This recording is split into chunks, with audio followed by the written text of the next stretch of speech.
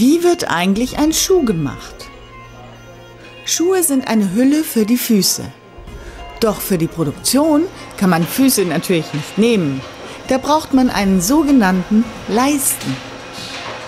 So ein Leisten sieht aus wie ein richtiger Fuß. Und weil Füße so verschieden sind, gibt es auch ganz viele verschiedene Leisten. Aber wie entsteht ein passender Kinderschuh, der nicht drückt und Blasen macht? Um diese Frage zu beantworten, haben sich sehr intensiv Wissenschaftler mit dem Thema beschäftigt. Kinderfüße haben eine bestimmte Länge, Breite und je nachdem an welchem Messpunkt man betrachtet auch eine bestimmte Höhe. Schauen wir nun die Länge der Kinderfüße an, so ist diese nicht immer gleich. Wenn ein Kind sitzt, der Fuß etwas kürzer, als wenn es auf seinen Füßen steht.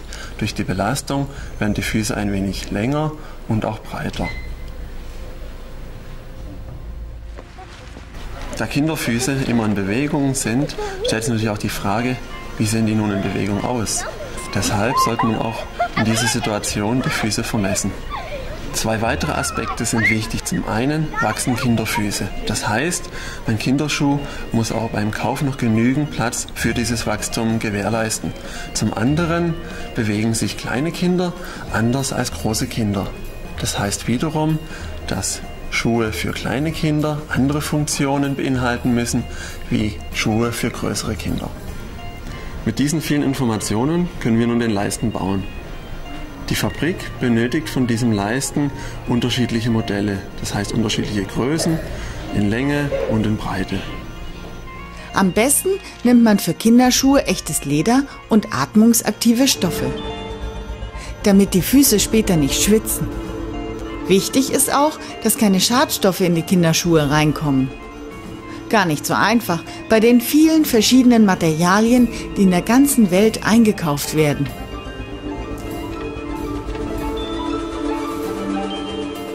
Jetzt geht's los.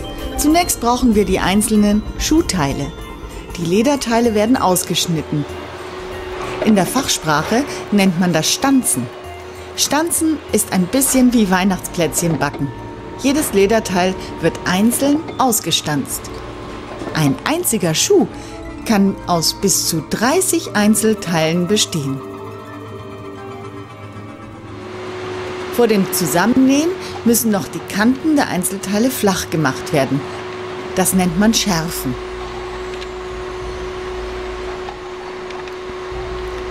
Die fertigen Teile werden in der Stepperei zusammengenäht. Wusstest du schon, dass jeder einzelne Kinderschuh mit der Hand zusammengenäht wird? Ganz egal, wie klein oder groß er ist. Eine Stepperin muss sehr geschickt sein und besonders genau arbeiten. Jeder einzelne Stich muss perfekt sitzen. Aber je besser ein Schuh genäht, umso länger hält er auch. Noch sieht der Schuh nicht richtig gut aus. Das ändert sich aber in der nächsten Abteilung. Wenn ein Schuh noch keine Sohlen hat, heißt er Schaft. Schäfte sind vorne und hinten besonders gut verstärkt. Vorne, damit sie sich nicht abnutzen und keine Löcher bekommen. Hinten, damit die Ferse einen guten Halt hat und du nicht bei jedem Schritt im Schuh hin und her rutscht.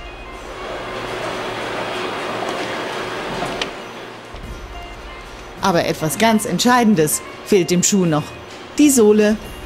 Bevor die unter den Schuh kommt, muss unser Schuh auf einen passenden Leisten gezogen werden.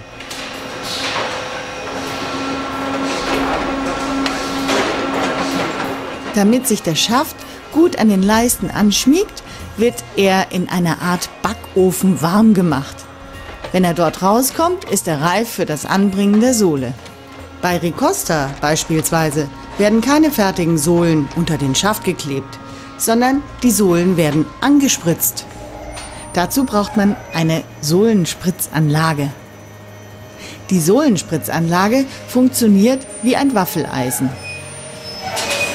In den oberen Teil spannt man ganz fest den Schaft ein. In den unteren Teil wird das Sohlenmaterial als dicke, flüssige Masse hineingespritzt. Dann wird das Waffeleisen zugeklappt und der Schaft taucht in die schwarze Masse ein. Die Masse schäumt auf und wird fest. Fertig ist die Sohle. Sohlen anspritzen hat Vorteile. Die Sohlen werden leicht und flexibel und sie sind ganz fest mit dem Schaft verbunden. Schuhe, die aus der Spritzanlage kommen, müssen erst noch fertig gemacht werden. Kanten abschneiden, Leisten rausnehmen, Schnürriemen einfädeln, den ganzen Schuh noch einmal abbürsten, die Sohlen abreiben. Genau wie ein Auto nach der Fertigung wird jeder Schuh am Ende nochmal überprüft. Sind alle Nähte gerade? Ist die Sohlenhöhe an beiden Schuhen gleich? Sitzen Bänder und Ösen richtig? Ist der Schuh auch wirklich sauber? Erst wenn alles okay ist, geht's ab in den Schuhkarton. Diese Kartons kennen wir aus jedem Schuhgeschäft, denn da kann man solche Schuhe kaufen. Wie kommt jetzt der fertige Schuh an den richtigen Fuß? Wir messen die Füße mit dem WMS Fußmessgerät. Das zeigt aber nicht, wie viele Millimeter die Füße lang oder breit sind. Sagen wir mal eine Weite, sehr breit und Schuhgröße 34. Es zeigt gleich, welche Schuhlänge und Weite die Füße brauchen. Also, achtet auf, was für Schuhe ihr anzieht. Denn nicht jeder Schuh kann euch ein super Laufspiel, Klettergefühl geben. Wenn der Schuh drückt, ist er nicht gut für eure Füße. Und das müssen eure Eltern wissen. Wenn der Schuh passt, macht auch das Spielen wieder richtig Spaß.